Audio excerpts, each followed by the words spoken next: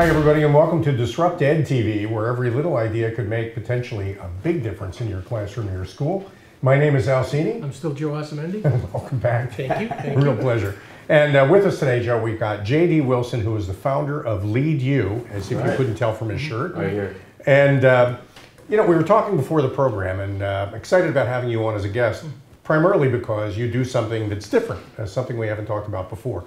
Looks to me like you create educational experiences for students working in conjunctions with schools. Is that right? Absolutely, that's right. So yeah, the whole idea behind Lead U is that we customize school assemblies. Okay. Um, you know, having uh, been a teacher myself and sitting through a lot of assemblies, I got thinking, you know, what can we do a little bit differently that's very interactive and totally engaging for the students? Mhm. And I said, well, if you want to be interacting and you want to engage, it really helps to do your homework. So I said, let's meet ahead of time with the guidance counselors and the principals, which is what we do.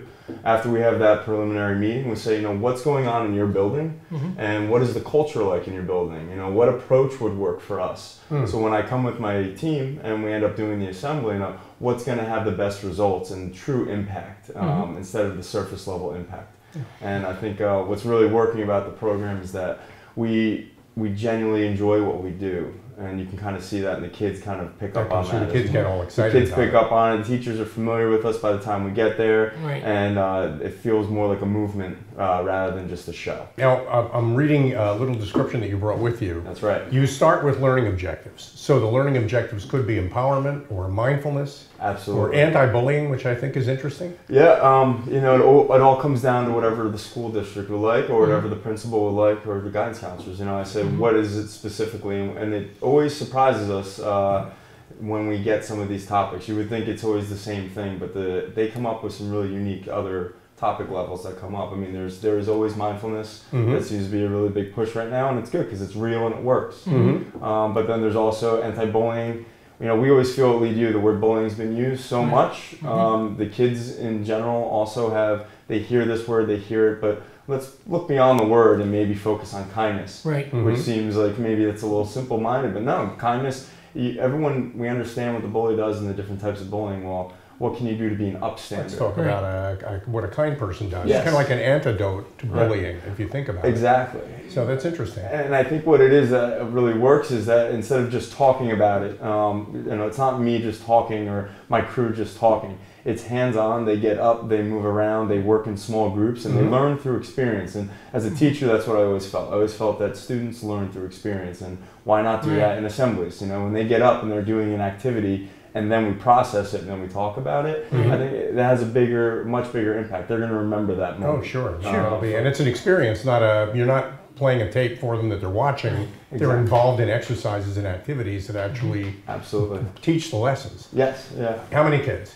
Uh, per assembly. Yeah. Oh man, we've done a lot. Um, we've done, I think the biggest we've done, I just did one last week, um, which was for, we had, I think there was 750 Mm. 750 kids in one. in one assembly, which Okay. isn't our traditional. What I like to do is uh, break it up, maybe do, because of content. Mhm. Do K, maybe if it's a if it's a K to eight school, maybe do K to two assembly, then a three to five assembly, Okay. and then a six to eight. But we can we can customize. So if it's 750 kids, we'll make it happen. We'll make it work. We prefer the smaller groups because I think that's how you get the bigger Oh, impact. for When you have a for large sure. group like that, how, what kind of topics did you ta- uh, cover? Um, but so th- that type of group, we did a lot, a whole lot of bullying, and we did um, mostly just cyberbullying. That was a big topic and responsibility of your cell phone. Um, I will say that all of our, usually all of our assemblies end with a really good like leadership and uh, confidence kind of lesson as well. And instead of again using that word bullying, which keeps coming up, we like to focus on you know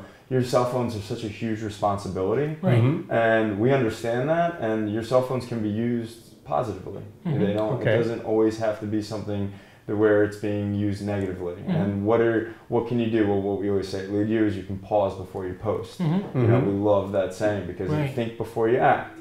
You know, before you put something out there, always know that it's permanent Right. and Mhm. it stays out there forever. And it's, it's so whatever you put out in a text, anything you say in social media, it's not going anywhere. Mhm. Right. It's going to be in the cloud. It's going to be you can screenshot it, whatever it is. So cyberbullying was a big one for that big group. Wow, that's a biggie. Yeah. 750 kids. Yes. In was this an outdoor or an indoor? This was an indoor. that was an indoor. So they had a large auditorium, Yes. obviously, Yeah, it was 750 kids. Really large group. And to manage 750 kids, you need a team.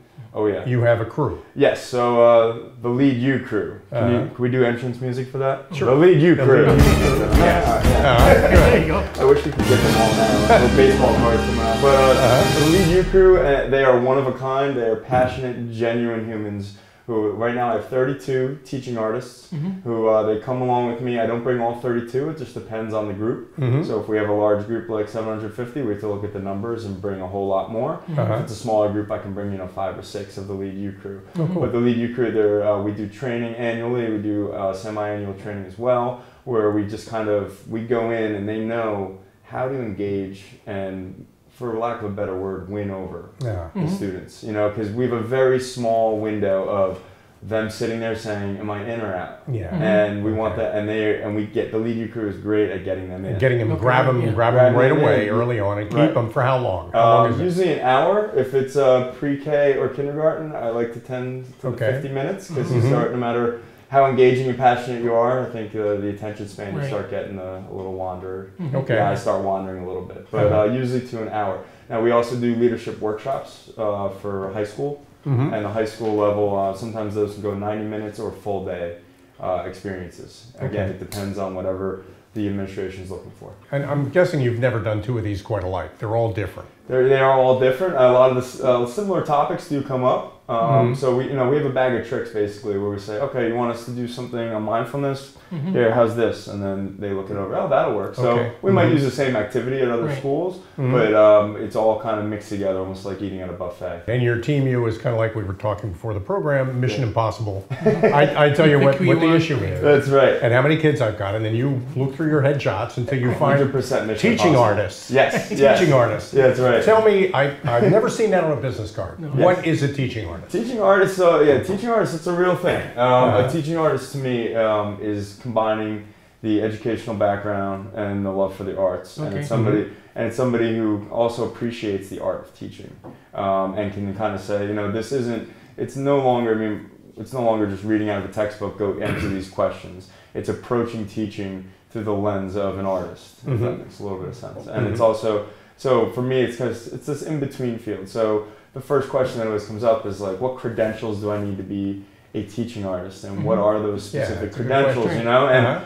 and this, um, you know, maybe shouldn't this shouldn't be the thing I'm saying, but like I hire so much, not only on obviously your your background, but Mhm. Mhm. your your personality Sure. and your when I look into your eyes and I, and you guys I know you're talking about emotional intelligence and things of that nature and Mhm. when we have that conversation you know do you care about what you're about to do and Right. is this something you want to be involved with and I we hire based a lot on your passion for empowering students and Mhm. empowering kids um, it's not necessarily something and maybe someday you go to school and you'll become a teaching artist degree and you know make Could be. yeah, eight year program or something, and uh, Uh-huh. whatever, Uh-huh. whatever it might end up being. But uh, for me, it's uh, a teaching artist is someone who has a passion for kids and teaches through the arts. That's Mhm. great. Um, Okay. The Webster Dictionary version, I'm not sure if that's it, but that's Mhm. uh, that's our definition. Works for you. Yeah, absolutely. All ages, any particular Yes. age range? So they're older people, younger people. Yeah, uh, K to 12 is Uh-huh. uh, what we've always looked at. Um, you know, we also offer like a summer camp thing for uh, high school kids. Um, it's just different. I I have a passion because I taught um, that you know that three to five age, uh, Mhm. grades three to five. Okay. So I was a passion for that, but um, I'm learning that the K to two experiences. I am so uh, you know maybe this is this was on me, but I'm so surprised every time I go to an assembly and we pass around the microphone what a kindergartner is thinking. Hmm. You know, Oh, sometimes I'm nervous handling you know that moment, and you say, Mhm. okay, what do you think? You give it them. I'm like, I hope he says something right. You know, but Uh-huh. I, they usually nine times out of ten they will say something brilliant, and I just take a moment. and I'm just like, wow, this is amazing. I'm learning so much from them, you know, and we're lear- and we're learning as it's all going on. Yeah, that's Uh, great. And you so had a teaching it's- background, right? Yes, Yeah, and I also understand you had a military background. yes, military Okay, background. how did that help you in uh, forming Lead U?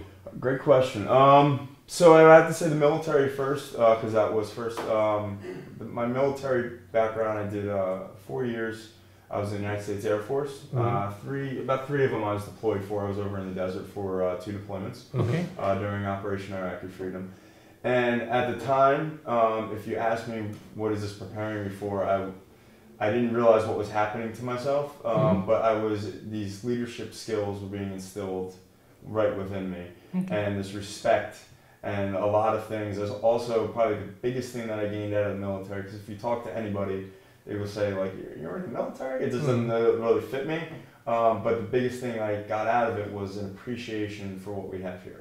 Hmm. Um, I came back when I got out of the military. I said, you know, I did, you do a lot of hurry up and wait in the military. You sit around a lot, Mhm. and you know you might be sitting around in uh, Afghanistan or Iraq, and you, you think a lot. And I Mm. just remember thinking, you know, like when I get out, when I get back, you know, I want to do something powerful. Mhm. Um, and teaching at that time seemed to be that thing. Mhm. And when I got out of the military, I said, you know, that's that might be my thing. And I appreciated having that teaching job so much. I, I taught in Howell, New Jersey. Mhm. Um, I taught uh, fourth grade and I taught fifth grade. Mm. Amazing. Great. Hmm. Yeah, that's great. Uh, such a great experience. And in teaching, I think, uh, you know, talk about what skills I got out of that.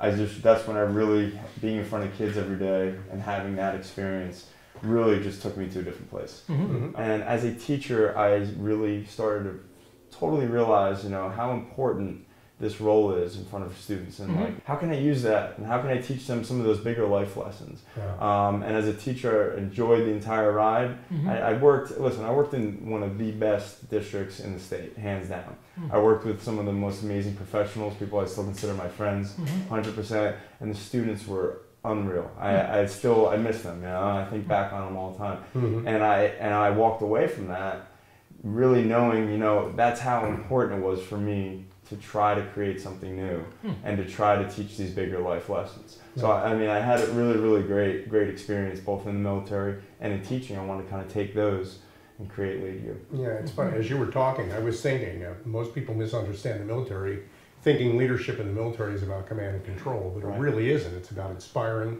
persuading, and collaborating. Absolutely. So, so when you teach leadership to high school students, and that's one of your programs, Yes. I guess, right? What, what, what kind of skills do you focus on? Communication, Mhm. um, especially in this day and age, you know, uh, looking away from the phone and really listening to the, what your friends are saying. We, we do a thing where um, we kind of we have them in a small group, really having engaging conversations about like you know we'll give them a topic and like having just to have a simple conversation to have that level of communication. I think that is such a huge part of Mm. being a teenager right now. Sure. And are you really tuned in and are you really listening to what somebody around you is saying Mhm. and receiving what they're saying, not just waiting for your next opportunity to talk Right. That's great. uh, and really kind of take in what's happening. Now, the good thing for people who are watching to understand about this is you do this for groups of 30 or 40 or more Right. high school students. Absolutely. And, and um, so it's not a one-on-one kind of a teaching experience. It's No. a high school that wants to create an event like this would call you. Absolutely. Yeah, you reach out to us, we'd set up a preliminary meeting,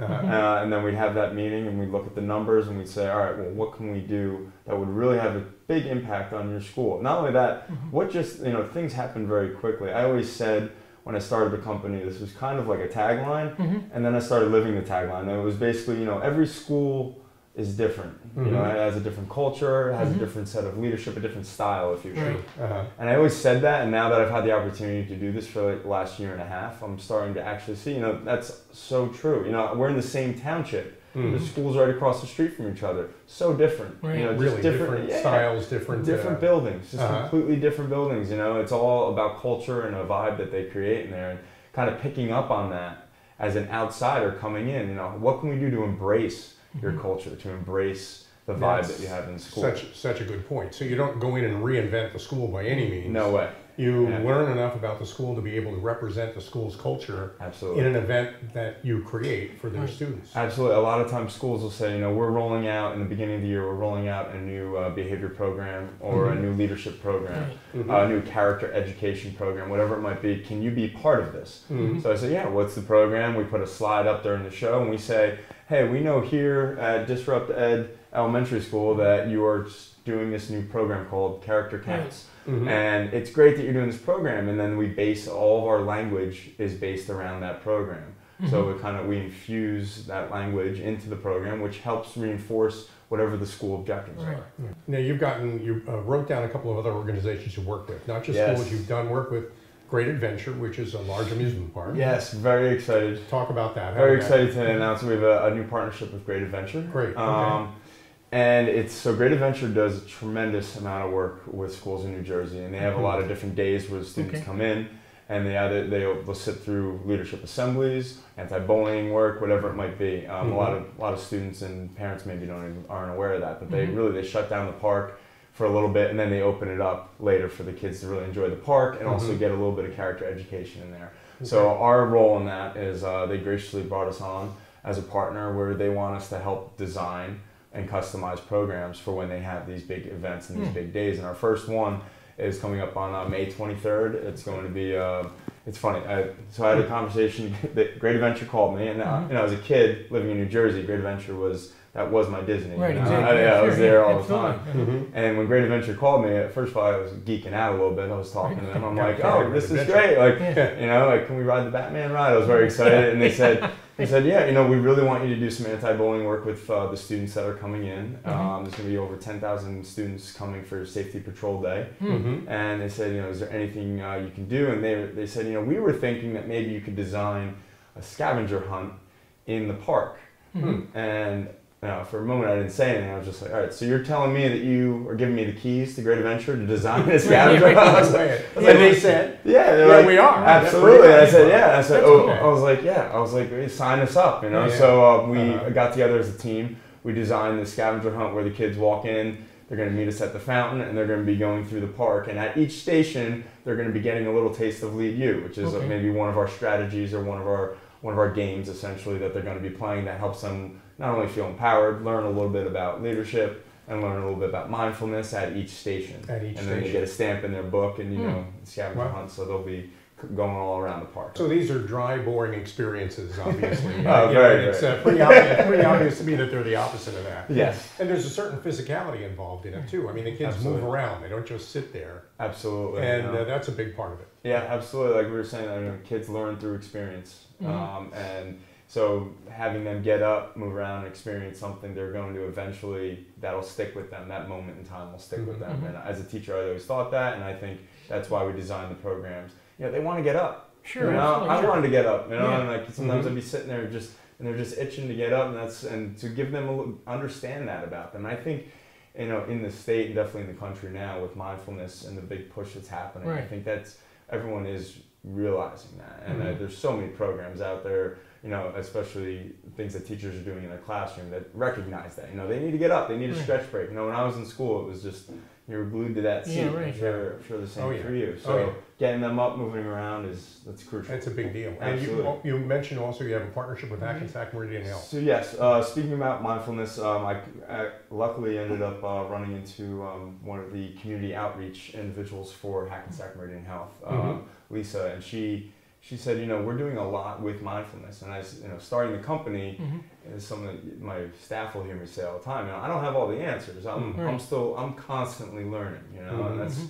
And so I said, you know, we would love to sit down with some of the health experts and Sure. some of the experts who not only know about mindfulness, but they know about healthy habits Mhm. for you know eating habits, Sure. healthy things Right. you can be doing inside and outside of school. We sat down with them and we actually ran a workshop with them uh, up here in Red Bank, and Mhm. they learned a little bit about what we do, and then we learned a little bit from them as well. And they said, you know, this makes a lot of sense. You know, Mhm. not only they're giving us that proper educational background, Right.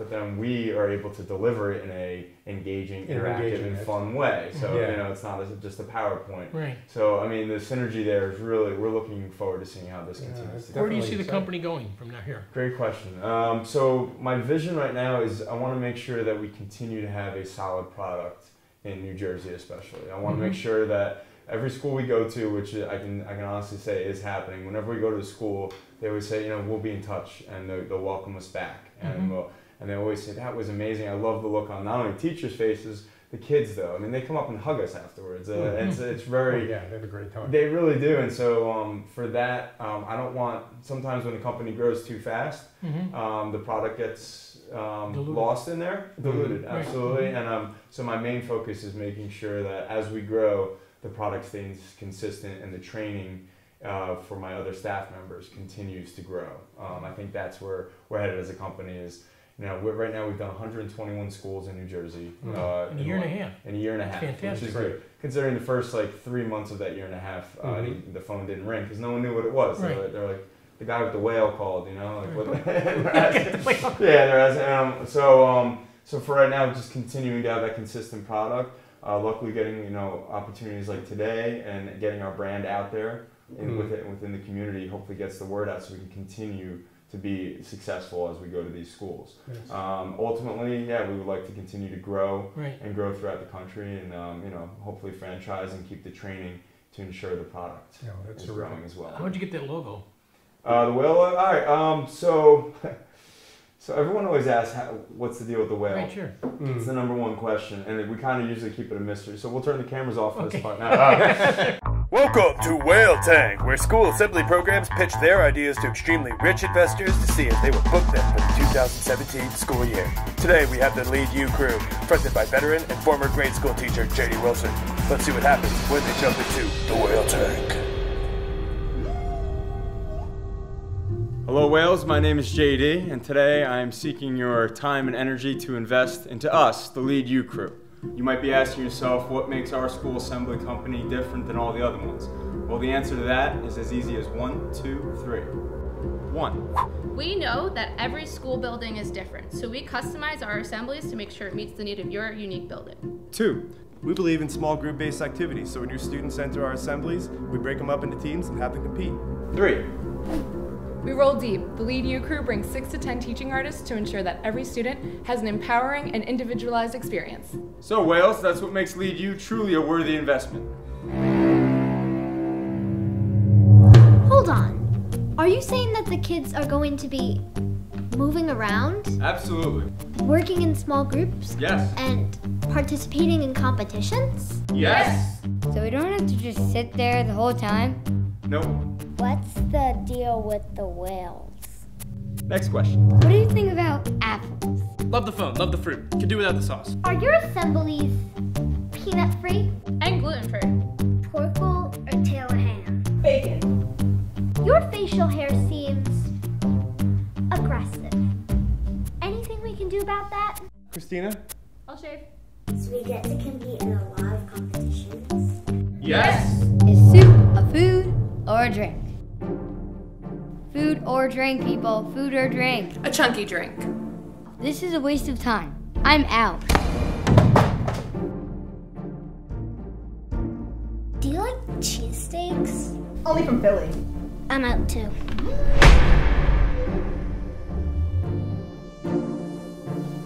I'm out. Uh, yeah, JD, I'm out too. Mom? Just business. Okay, I'm probably out. But one last question. Is it fun? Yes. How much fun?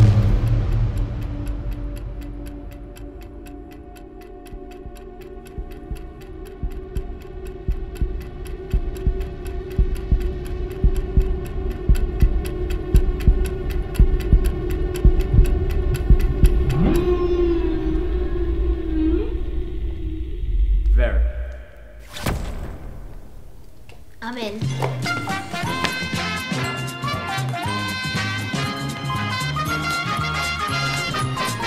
Empowerment. It's everything. Good job, Rick.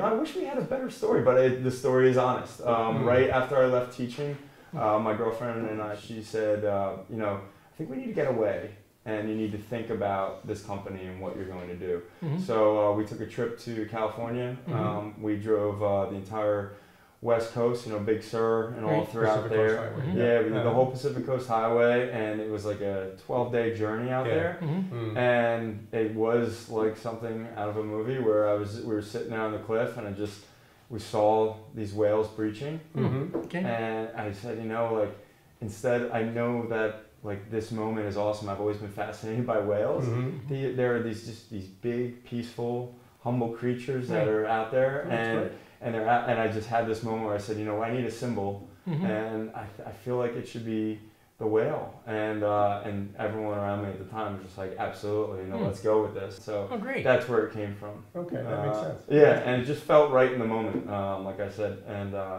I had somebody locally design design this for me, a friend of mine. Oh, She good. did a great job. So a school that's out there that wants to hire you for an event, I mean, the, the cool thing about this is it's, um, what you do is you take a learning objective like mindfulness Right. and you kidify it Yes. in a way and you integrate it with the school so that it feels like it's part of the school and not something that sort of hangs off to the side. Absolutely. Uh, and it's affordable. I mean, you, we talked a little bit about Yes. the program. It's uh, uh, schools that are considering this will call you to get a quote. Absolutely, yeah. We will customize a quote based on the numbers and based on what they're looking for. Mhm.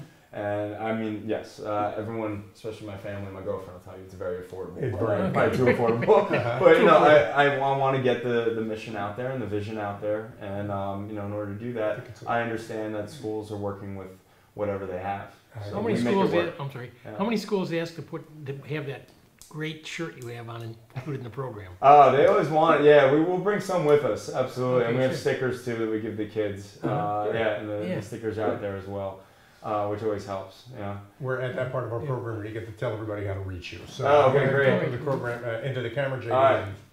Hi, Earth. Um, JD Wilson here with Lead U. Um, would love to hear from you. Please reach out. Um, our website is www.leaduthere. That's L-E-A-D, the letter U, T-H-E-R-E dot com. LeaduThere.com. Uh, reach out on our submission page, and then we will be in touch within 24 hours. Uh, you can also check us out on Instagram at lead u underscore, um, and you can also see us on Twitter as well. Uh, that's at lead underscore u underscore or Facebook. We are out there. If you need us, we are definitely here waiting for you. Good. JD Wilson, Uh, what hey, a pleasure Thank you so much. A Appreciate pleasure meeting gentlemen. you. Oh, this was great. And by the way, thank you for your service. Oh, Thank you. absolutely. No, thank you, gentlemen. And uh, my name is Al Cini. I'm still Joe Osamendi. And this has been another terrific episode of DisruptEd TV with a terrific guest. We hope you'll join us again for a future episode. Thanks again.